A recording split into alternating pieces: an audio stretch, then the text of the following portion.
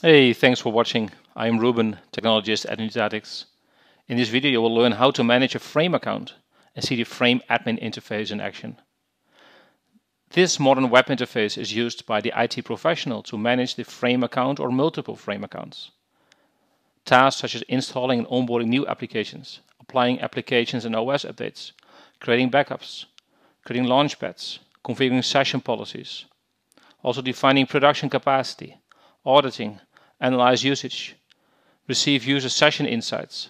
These are some of the key tasks done via the Frame admin interface. Alright, let me show you the great interface. This is the Frame admin interface. The Frame account is already created and actually it's one of my showcase accounts. In this example, the Frame account is running on Nutanix AHV and powered by NVIDIA Tesla GPUs. The sandbox, this machine here, is the master VM. Some people call it gold master, template VM, base image. We call it sandbox. And this VM does contain your applications. You can install applications manually, use new or existing tools to install applications automatically, or you can use an already existing Windows image. During the application installation process, the frame guest agent, which is installed in the sandbox, will detect new applications are already installed. And that's what you can see here. I already installed many applications. And during the installation process, the frame guest agent will detect new applications are available and will ask a question, do you want to onboard the application? If you click yes, the application list will, uh, will be created, as you can see here. When one or more applications are, are onboarded, you can create application launchpads.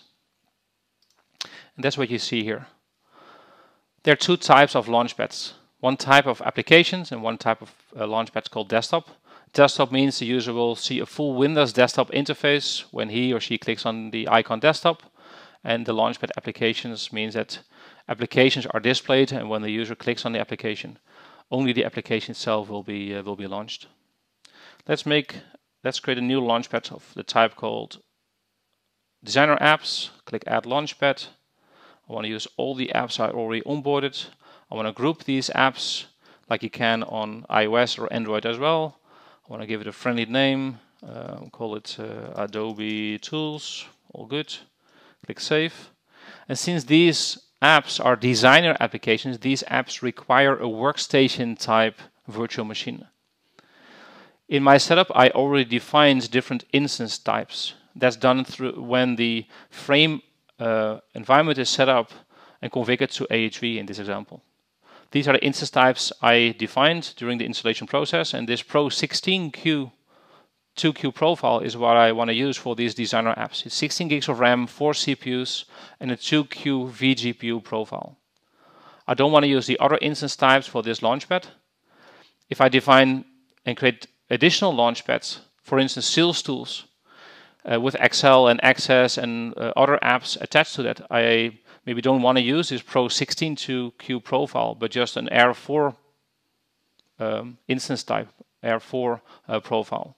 And that can be configured very easily. So you can use different launchpads and attach different instance types to that. And all these launchpads in this frame account will point to the same sandbox, the same master machine.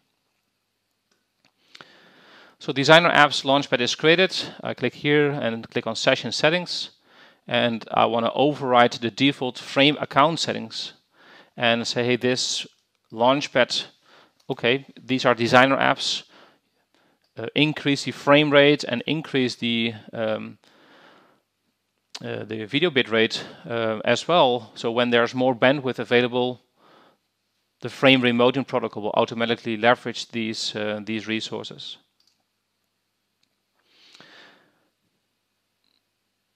Next thing is you want to attach users or groups of users configured in the identity system to that launchpad. In my example here, I already configured Google and uh, two SAML 2 based identity providers for this frame account.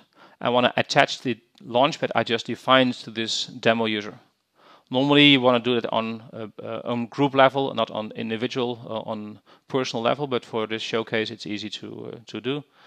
I just add Launchpad user, and design apps is the Launchpad we just uh, we just created. Click Save, which means that if Ruben logs in with these um, SAML, uh, SAML user, he will see X he will access two different launchpads: Designer App Launchpad and Desktop GPU Launchpad. Next thing is uh, I want to define capacity. Um, the Launchpad will use the Pro 16Q 2Q profile, um, which means I need to set up capacity, and capacity means that the control plane will create capacity, will create clones of the sandbox to support an X amount of users simultaneously. In this example, it's 200. If I click Save, the system will create 200 copies of the master machine when I publish this, the, the sandbox to production. The minimum and buffers are especially important in public cloud because this is how you can control capacity management in public cloud. Maybe in public cloud, as an example, so a, uh, AWS or Azure or, or GCP, I want to pre-boot 100 machines at 9 o'clock in the morning so that when colleagues uh, enter the organization, they can instantly launch apps or desktops. In an on-premises environment, uh, this pre-booting of machines is less important because the machine is already there, it's very likely already running. But in public clouds, capacity management and also analytics around capacity management is, uh, is super important. You can set up different um, instance pools with different uh, capacity settings. So for instance, for this sales tools launchpad, if I want to define that, I could say, well, for the R4 gig, I want to support 1,000 users. So 1,000 copies of the master machine are created and attached to this VM instance type. 4 gigs of RAM, 2 CPUs.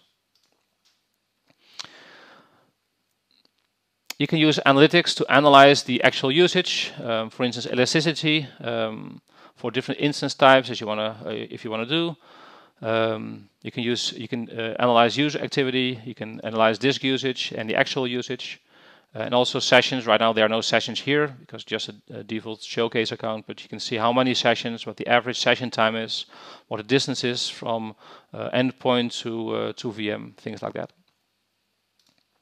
Also uh, on activity here, you can see the audit trail, you can see a session trail listed here um, easy to, well, to use that to analyze how the system is being used.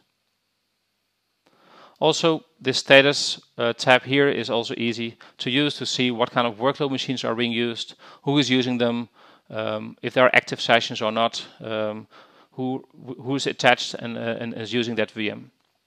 And finally, on the settings, I can define if this frame account needs to be classic Active Directory integrated, as you can see here.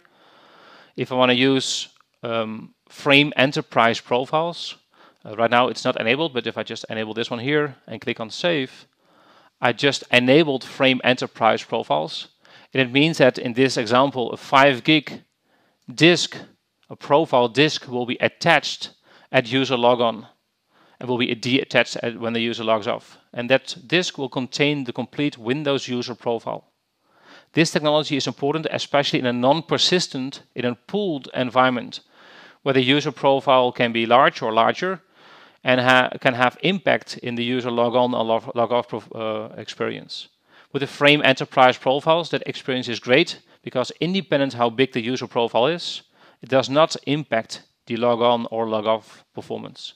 User profile is stored on a disk, disk is, is attached when the user logs in, and uh, good to go.